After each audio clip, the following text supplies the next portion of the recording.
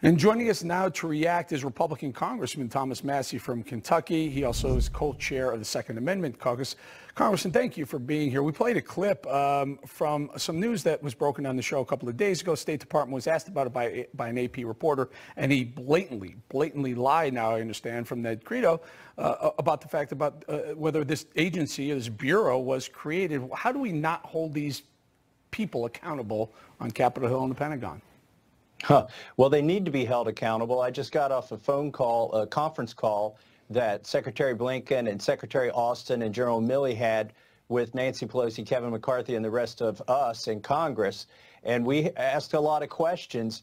Um, the interesting thing that came out of that call was that uh, there seems to be a disparity between what the two secretaries are saying and what the president is reporting. For instance, we heard on that call that uh, Americans were beaten by the Taliban uh, in a, you know, in their travel to get to the airport or in an effort to evacuate. That seemed to be news that the president hadn't acknowledged yet.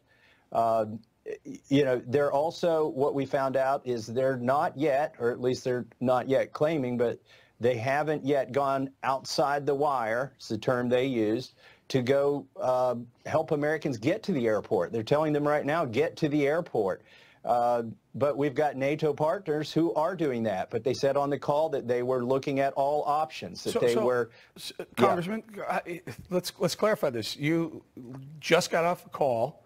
Yes. Where uh, who was who was suggesting that there were Americans that were beaten? Was that uh, it, it was, was it Blinken and Milley telling Secret Congress Secretary that there are Americans that are being beaten? Why don't they yeah. tell the American people this?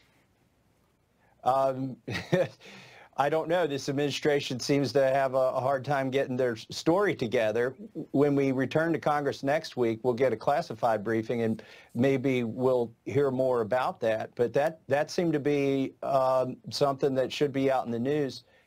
Uh, you know, and I don't understand why we aren't going out and trying to help people get to the airport. It's basically, you know, just make your way here, and there's no protection for them on their way there. They I, are learning. I, I, just, I just want to do this because I, I, I find this very disconcerting that we've had the State Department, we've had the White House, we had the President today on camera, but no one ever mentions this. Uh, this representative who said Ameri- who, who came forward with the information that Americans were being beaten on this call?